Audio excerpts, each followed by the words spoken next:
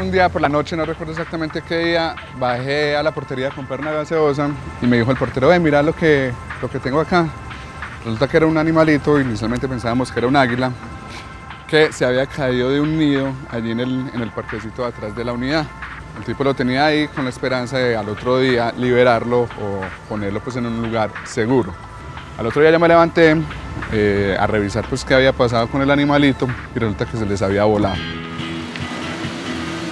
Yo empecé a buscarlo por acá, a ver si de pronto se encontraba pues como en esta zona. Y finalmente, después de mucho buscar por todo este lado, lo vine a encontrar acá. Aquí ya lo logré coger y me lo llevé nuevamente para la unidad. Llamé a Policía Ambiental, llamé al área metropolitana, llamé pues como traté de comunicarme porque la verdad no fue muy fácil la comunicación.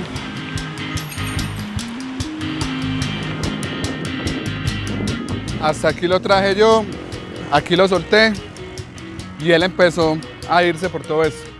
Y acá finalmente es como que sintió, no sé, uno sentía como si los papás lo, lo estuvieran llamando. Se montó acá, saltó acá y acá se quedó todo el rato. Y yo sentía, pues como de pronto se trataba de comunicar, imagino que con, con el papá, la mamá, porque se escuchaba el, el, adulto y él trataba como de responder y miraba y todo el cuento. Primero que llegó policía ambiental, ellos llegaron mirando y como que, ah, pero es que ¿qué le vamos a coger?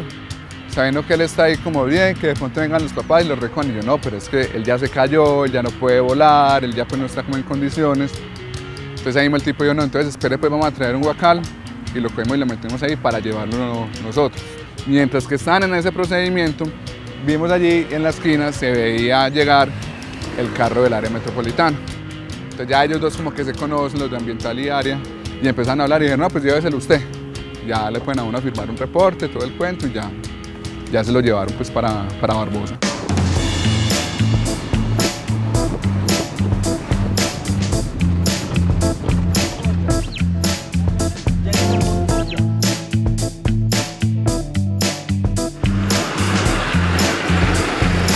Estamos en este momento en el Centro de Atención y Valoración de Fauna Silvestre del área metropolitana del Valle de Aburrá.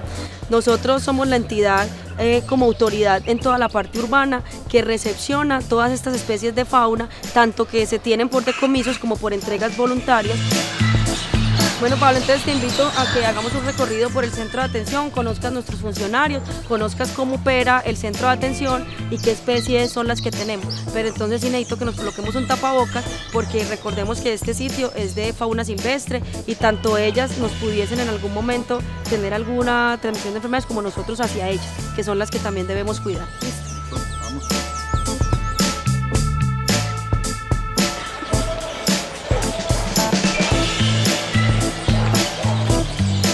Pablo, básicamente, ¿qué es lo que hacemos acá? El CAP es un hospital especializado para fauna silvestre.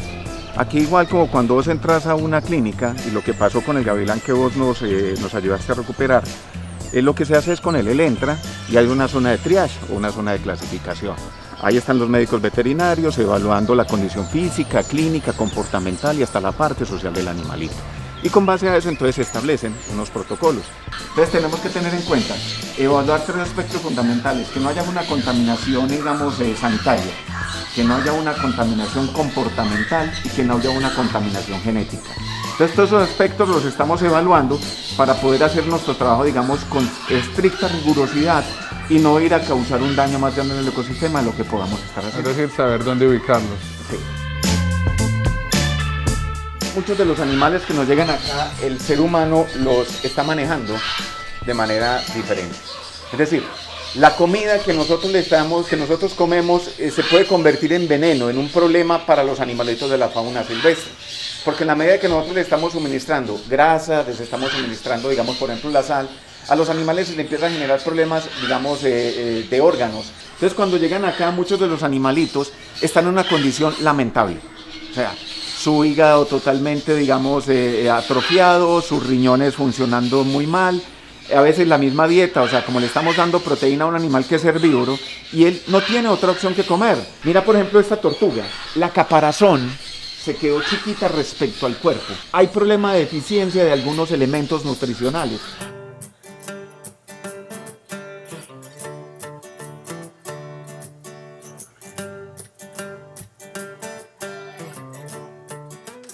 Después de que ya el animal eh, eh, se ha chequeado su parte clínica, comportamental, se ha hablado la parte, digamos, de, que no representa, digamos, eh, un riesgo para el ecosistema por la parte sanitaria y que se ha rehabilitado en la parte física, entonces arrancamos con un proceso de recuperación social. Es decir, integrar el animal con los de su misma especie. ¿Podemos hablar de recuperación o de rehabilitación? Yo lo llamo mejor una readaptación. Y es donde de una u otra forma el animal vuelve a, recuperar muchas de sus habilidades, de sus competencias, para tratar de, reintegrarlo y que pueda eh, supervivir en el entorno silvestre.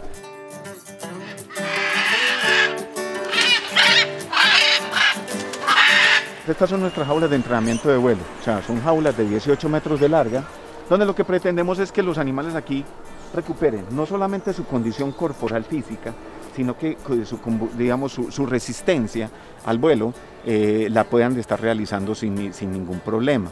¿Y cómo es ese proceso? ¿Cómo aprenden ellos? ¿Por instinto también o...? Copiar comportamiento, lo que digo. Nosotros tratamos en la medida de lo posible acá en el CAP de no ni, siquiera no interferir mucho con los animales que están acá. Mira, por ejemplo, ahí están ya los gavilanes volando.